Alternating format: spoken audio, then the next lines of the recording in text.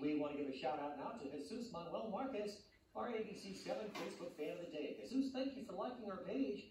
If you'd like to be our fan of the day, just like the KVIA ABC7 Facebook page. Now to the world's largest